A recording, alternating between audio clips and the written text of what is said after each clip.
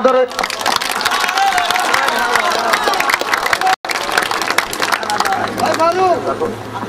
এই বসেন বসেন। শাখার সভাপতি আমাদের মসজিদ কমিটির সহ সভাপতি জনাব আব্দুর রব সাহেব আমাদের মুর্শিদ কাবলাকে মাল্যদান করবেন।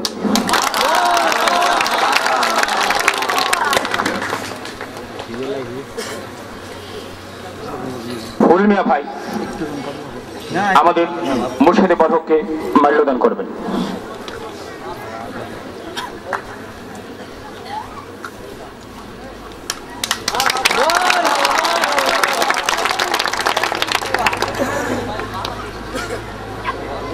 আমাদের আস্তা সাহেব মাল্যদান করবেন। আমাদের আজকের সম্মানিত প্রধান বক্তা ডক্টর আজিজুর রহমান চৌধুরী, প্রাক্তন যুগ্ম জজ সাহেবকে মাল্যদান করবেন।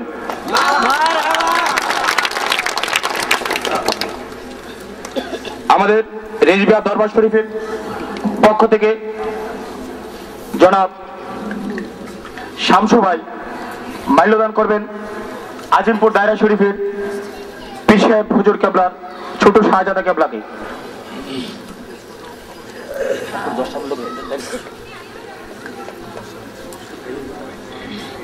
রেজবিয়া দরবার কমিটি, কুমিল্লা জেলা শাখার ভারপ্রাপ্ত সভাপতি, আমাদের আজকের এই পূর্ণিমা সম্মেলনের সম্মানিত সভাপতি সাহেব, জনাব অলিউল্লাহ নাসির সাহেবকে মাল্যদান করবেন।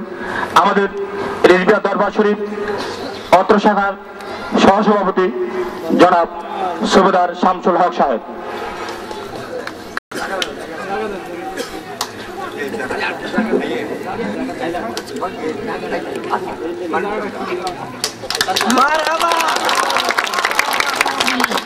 আমরা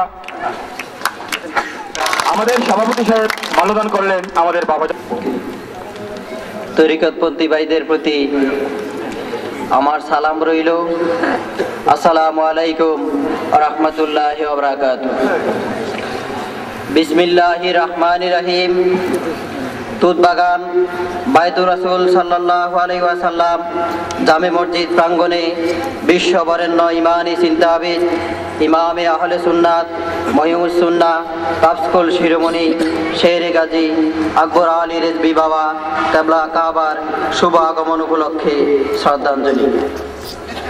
হে মোজাদ্দেদে জামান, ইন্নাল্লাহু লা হাফিজুন। অর্থাৎ আল্লাহ তার দিনকে হেফাজত করবেন। যুগে যুগে মিথ্যা ও আল্লাহর পথ হতে বিচ্যুতকারী ফেতনা যখন মাথা নাড়া দিয়ে ওঠে, ঠিক তখনই তিনি তার দিনকে হেফাজত করার জন্য দিনের মোজাদ্দেদ প্রেরণ করেন। তাই বলা যায়, বর্তমানে ইসলামী ইমানি সত্য কথা বলতে গিয়ে যিনি জীবন, যৌবন সব সপিয়ে বজ্র কণ্ঠে নবী প্রেমিক বলে ডাক দিলেন, তিনি হলেন আমার মুর্শিদ কাবলা রেজবি বাবা। হে গান সাধক, আউলিয়াগণ হলেন সাধক মানে যারা কোরআন, হাদিসের স্বাদ গ্রহণ করেছেন।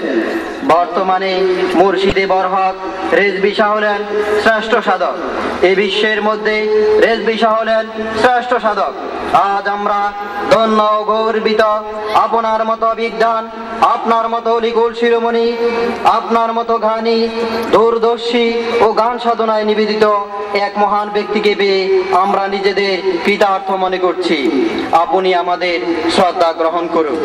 হে গুরু আপনার আদর্শ শিক্ষার ফলে আমরা দুনিয়া হাসর মিজান পুলচেরাতের সঠিক পথ, সুগম পথ পেয়েছি।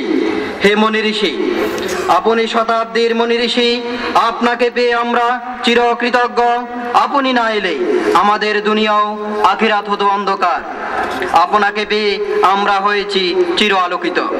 হে ইমান পরিচয় দানকারী, আপনি না এলে আমরা ইমান চিনতাম না। বুঝতাম না বাতিল কি, হক কি, তা আমাদেরকে চিনিয়ে দিয়েছেন। তাই বলা যায়, নূর নবীজি হলেন ইমান তার তরে জীবন যৌবন করলেন কোরবান। আলা হজরতে রেজবি বাবা যান কোরআন হাদিসে প্রমাণ। হে মৃত সুন্নত জিন্দাকারী অনেক ত্যাগের বিনিময়ে অনেক ত্যাগের বিনিময়ে প্রাণ প্রাণ দিয়ে ঝুঁকিপূর্ণ বাহাস করে জানমাল বিক্রি দিয়ে অনেক মৃত সুন্নাকে জিন্দা করেছেন আপনি। যাহা মানলে ইমান না মানলে বেঈমান, আপনার ঋণ কেউই শোধ করতে পারবে না। হে সারে গাজী, আপনি নবীজির প্রেমের বিনিময়ে বাংলার ও ভারতবর্ষ, শুধু বাংলার ও ভারতবর্ষ নয়, সমগ্র বিশ্বের মধ্যে ইমানি জোয়ার এনেছেন। এ সুন্নাতকে টিকিয়ে রাখতে গিয়ে অনেকবার নিজ শরীরের রক্ত জড়িয়ে দিয়েছেন। কেউ আপনার ঋণ শোধ করতে পারবে না। নূর নবীজির সৈনিক, সৈনিকের মতো যুদ্ধ হয়ে। নবীজির চুন্নতকে আঁকড়িয়ে ধরার জন্য মুজাদ্দেদ হিসেবে ধরা দামে পদার্পণ করেন এ বিশ্বের বুকে আপনি।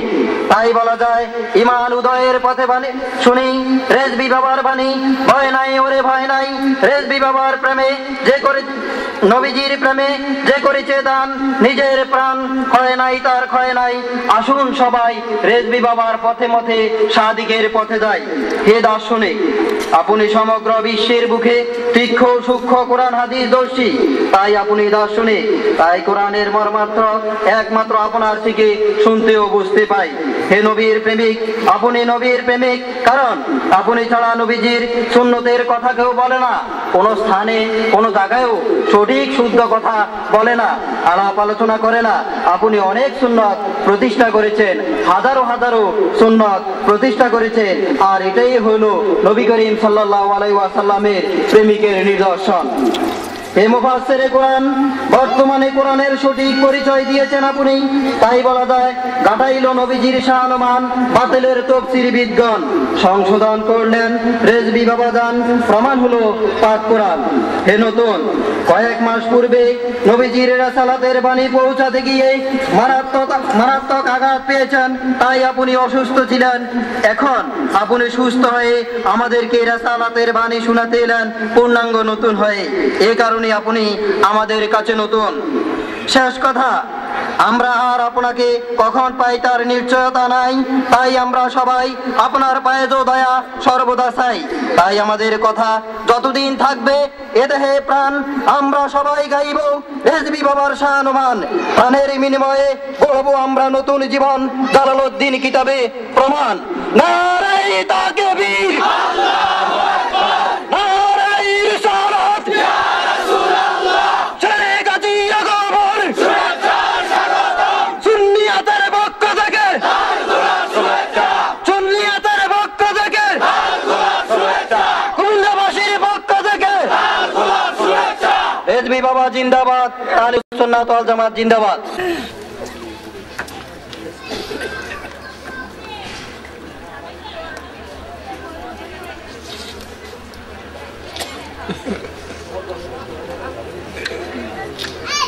الحمد لله الحمد لله رب العالمين خالق السماوات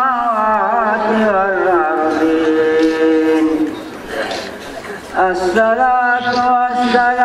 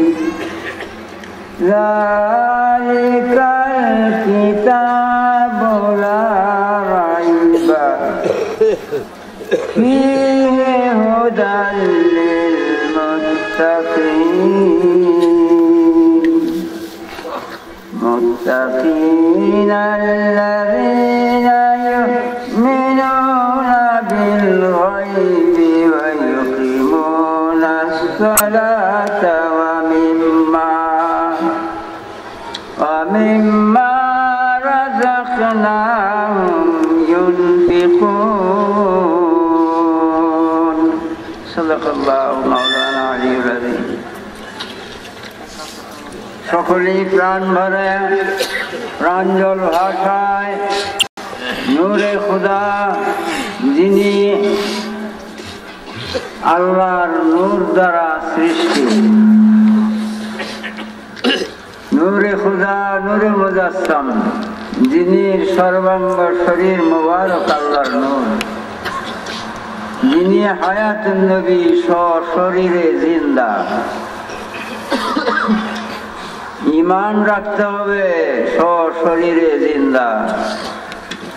গায়েবের খবর দাতা বেনজির, বেমিসাল, মোহাম্মদ মুস্তফা সাল্লাল্লাহু আলাইহি ওয়াসাল্লামের উপর প্রাণ ভরা, প্রাঞ্জল ভাষায় দরুদ শরীফ পাঠ করুন। সালাতুনিয়া বাবারা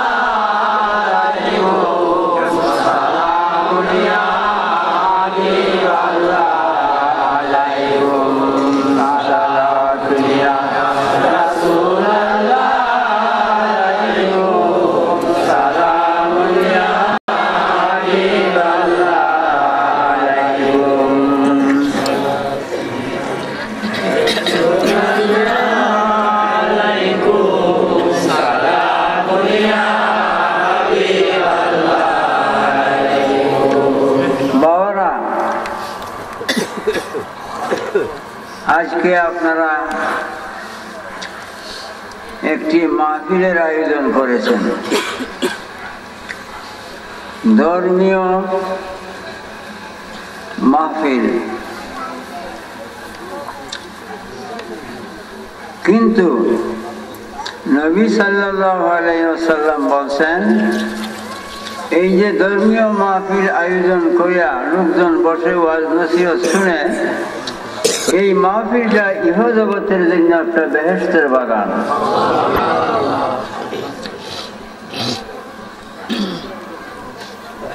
হাদিস শরীফ নবী সাল্লাম বলছেন, ইজা মারাতুম বিরিয়াজিল জান্নাতে ফারতাউ হে আমার সাহাবীগণ, তোমরা যদি কোথাও যাও বেহেস্তের বাগান পাও বেহেস্তের বাগানে যাইও, বসিও, ফল খাইও।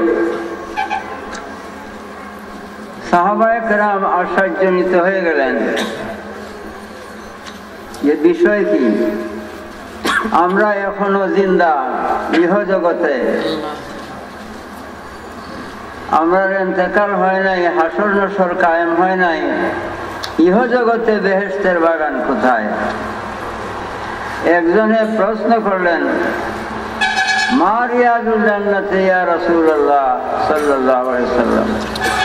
হে আল্লাহ রাসুল ইহ জগতে বেহেশতের বাগান কোথায়?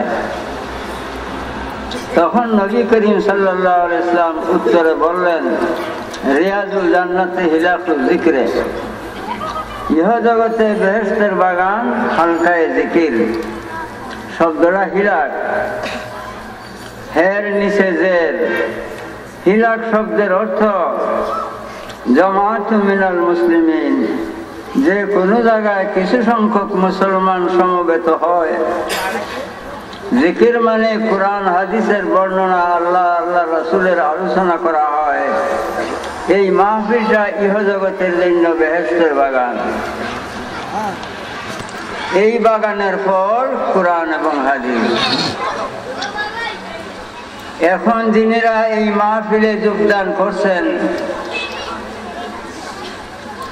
ইহজগতের বেহেস্তের বাগানে উপস্থিত হয়েছেন। ইহজগতের বেহেস্তের বাগানে হাজির।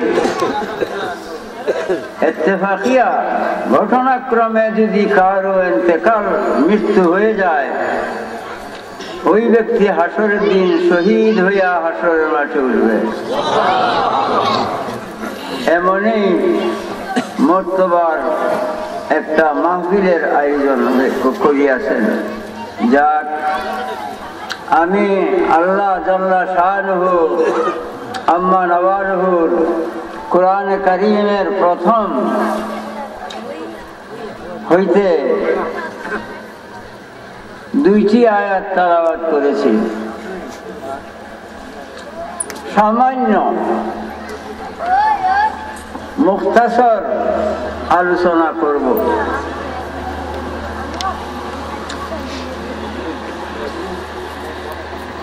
আল্লাহ জাল্লা শাহনুহ বলছেন,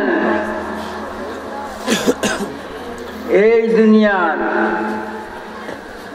নদ, নদী, খাল, বিল সমুদ্রাদির পানিটা যদি তোমরা কালি বানাও,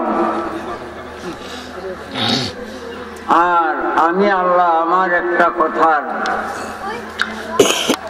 অর্থ, রহস্য লিখতে যাও, কালি শেষ হবে, কলম শেষ হবে। কিন্তু আমার কথার অর্থ, রহস্য শেষ হবে না। কোরআন এমনই একটা মহামূল্যবান।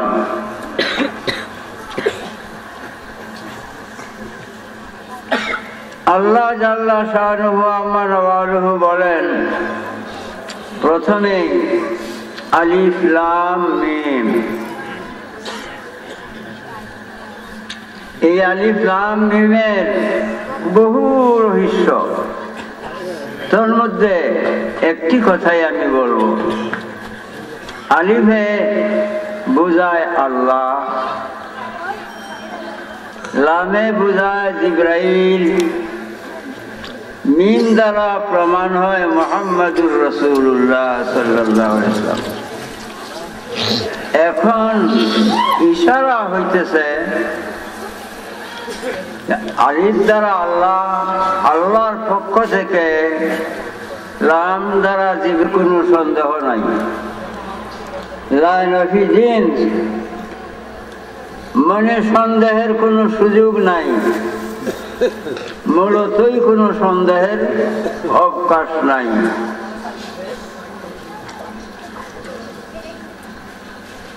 নিঃসন্দেহে আল্লাহর পক্ষ হইতে জিব্রাইলের মাধ্যমে নবী মোহাম্মদ মুস্তফা সাল্লামের উপরে এই কোরআন কারিম অবতীর্ণ হইয়াছে।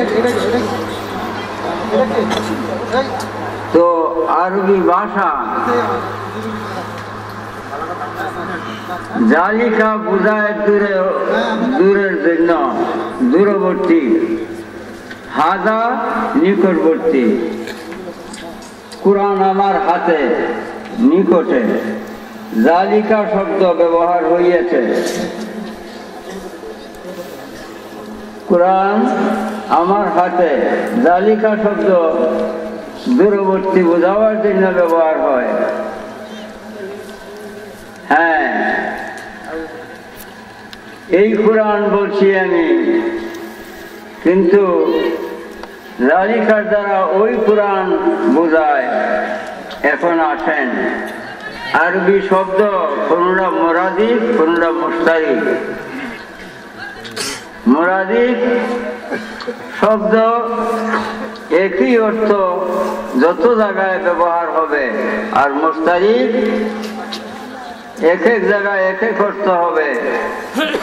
এখানে জালিকার মধ্যে নিকটবর্তী, দূরবর্তী দুইটা শব্দ রয়েছে। তেমনি হাজার যা জালিকার লেখা। এই রায় দুই শব্দ, এই যে মুস্তারিক শব্দ। এখন প্রমাণ হইতেছে, এই কিতাব, ওই কিতাব, এই কিতাব, ওই কিতাব।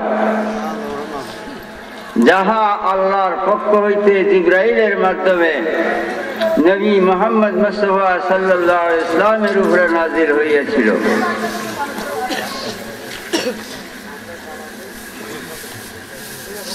কিতাব শব্দের অর্থ,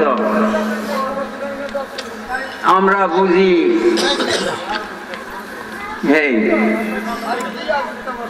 মাদ্রাসার ছেলেরা কিতাব বড় বা কাঁধে লইয়া মাদ্রাসা যায়। ইহাকে আমরা কিতাব বুঝি, কিন্তু কিতাব শব্দের মূলত অর্থই না। এটা আরবি শব্দ।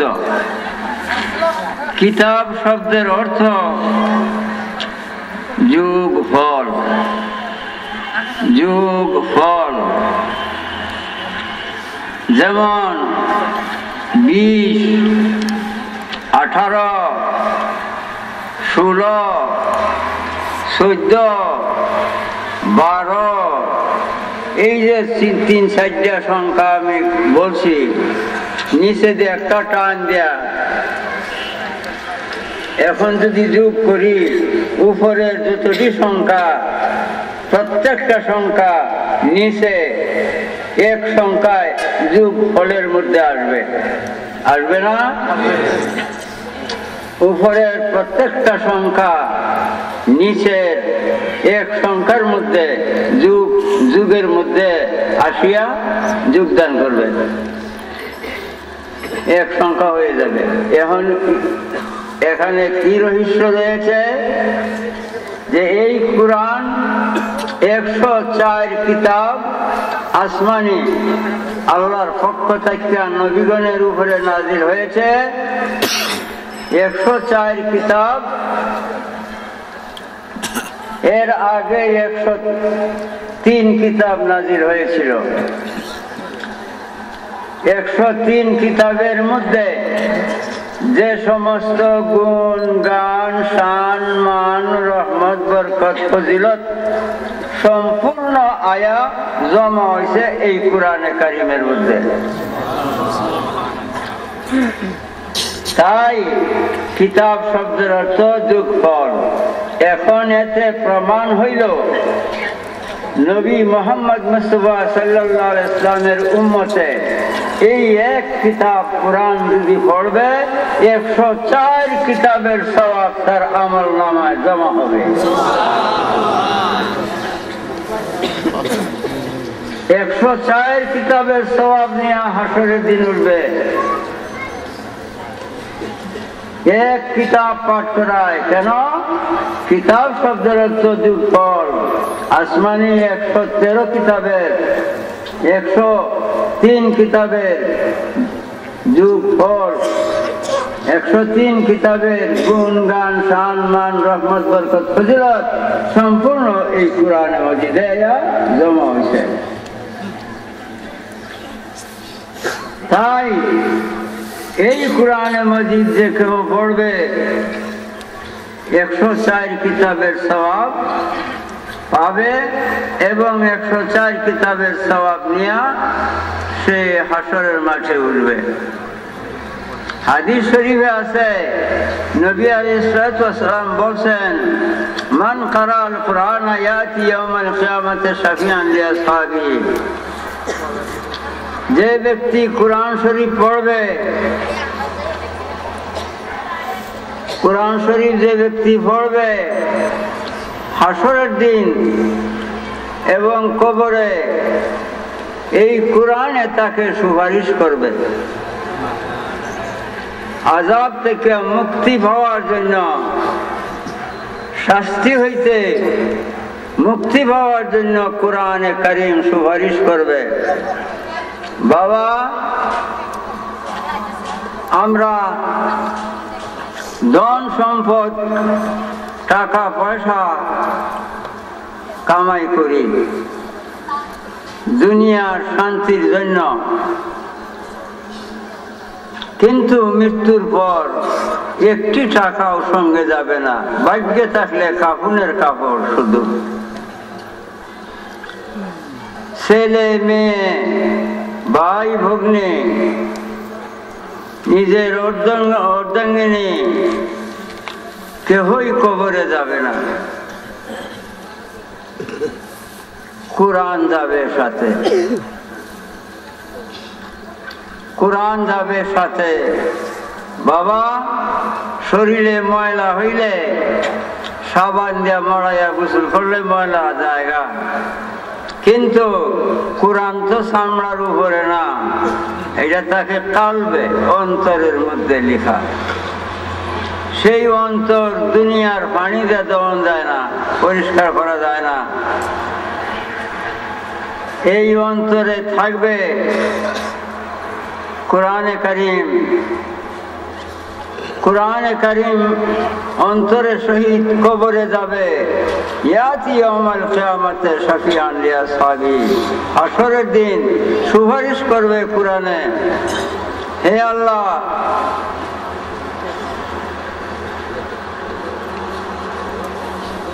আহা, মানুষের দিল আল্লাহর নিজের কুদরতের হাতে তৈরি।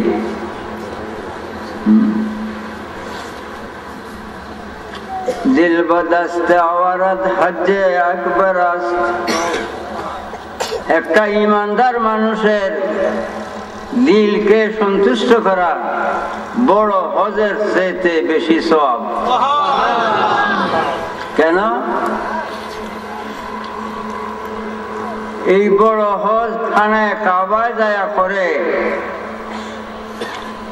খানায় কাবা দিল বদস্ত আওয়ারত হজ্জে আকবর সদ হাজারা কাবা এক দিল বেহতর হাজার হাজার কাবার চাইতে একটা দিল। হাজার হাজার কাবা শরীফের চাইতে একটা দিল ভালো। কেন? হাজার হাজার কাবার চাইতে একটা দিল ভালো কেন? কাবা বুনিয়াদে খলিলে আজরাস। দিল বদর গাহে জলিলে আকবর কাবা শরীফ তৈয়ার করছে আজরের পুত্র হজরত ইব্রাহিম আলাইহিস সালাম। তিনি হাতে তৈয়ারি করছে। আর দিল নিজ, আল্লাহ নিজ কুদরতের হাতে দিল তৈয়ার করেছে। কাজেই হাজার হাজার কাবার চাইতে এক দিল বেতর, একটা দিল উত্তম। এই জন্য মুসলমানের দিলে এক ইমানদার অন্য ইমানদারের দিলের মধ্যে দুঃখ দেওয়া, কষ্ট দেওয়া ভয়ঙ্কর পাপ। হাজার হাজার কাবা ধ্বংস করার তুল্য সমতুল্য গুণা হইয়া যায়। ইমানদারের অন্তরে কষ্ট দিতে নাই কোনদিন। এই ইমানদারের কবরে সুপারিশ করবে যখন তাকে আজাদ দুনিয়ায় পাপ কার্য করলে আজাদ দিবে, তখন কোরআনে করিম দাঁড়ায়া বলবে, না, আমি তার অন্তরে, যদি তুমি মায়ের দাও তো মায়ের, আমি কোরআনের উপরে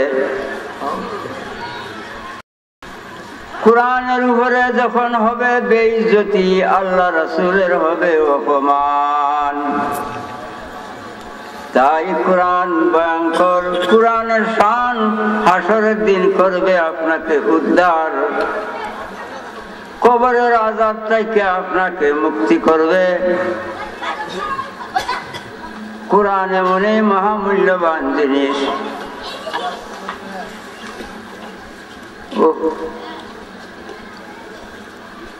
নবী সাল্লাম বলছেন, তালাবুল এলমে ফরিদাতুন আলা কুল্লে মুসলিম ও মুসলিমাতিন। প্রত্যেক মুসলমান নর নারীর উপরে আরবি ভাষা শিক্ষা করা ফরজ। প্রত্যেক মুসলমান নর নারীর জন্য একজন বাদ না একজন বাদ নাই। প্রত্যেক মুসলমান নর নারীর জন্য আরবি ভাষা শিক্ষা করা ফরজ।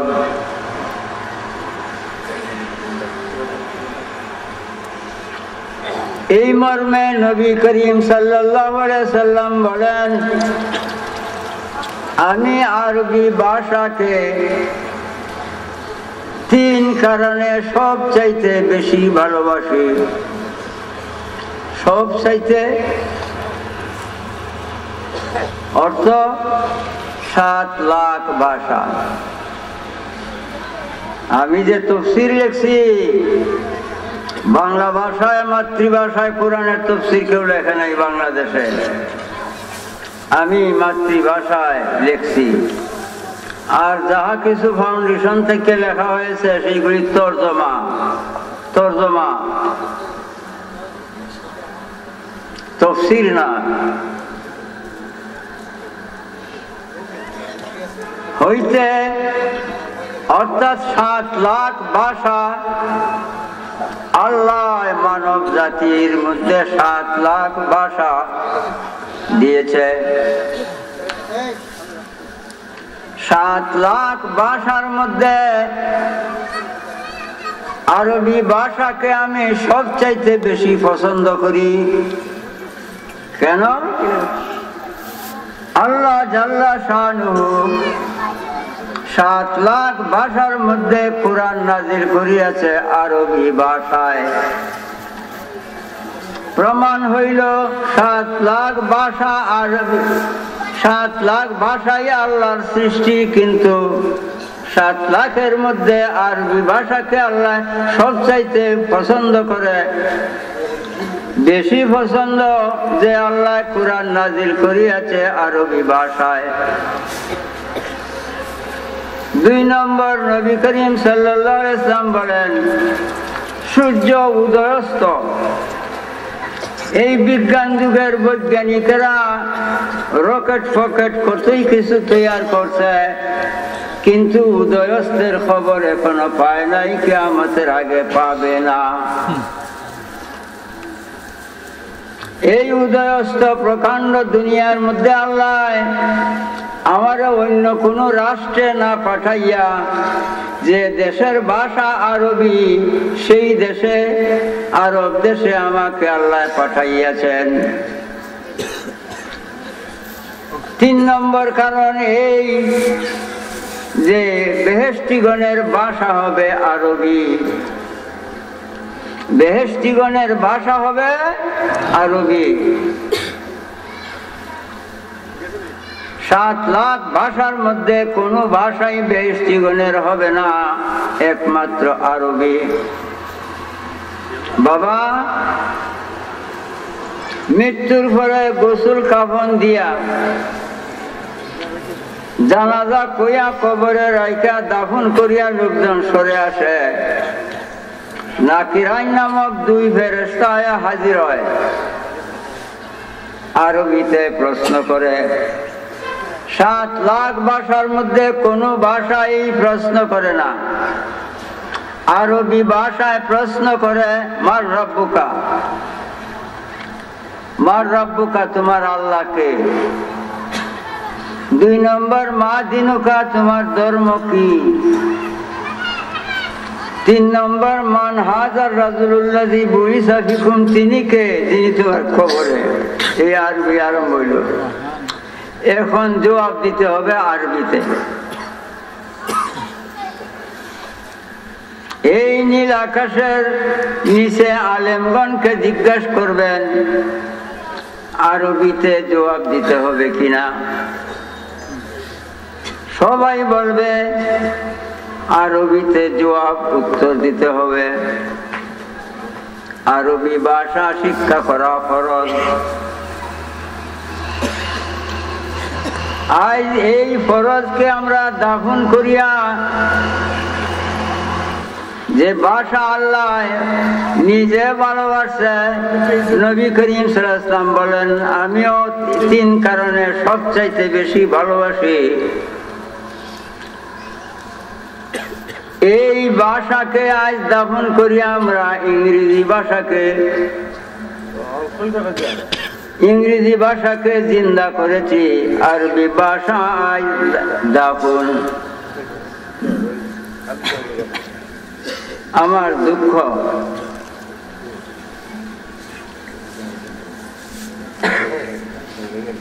সিলেট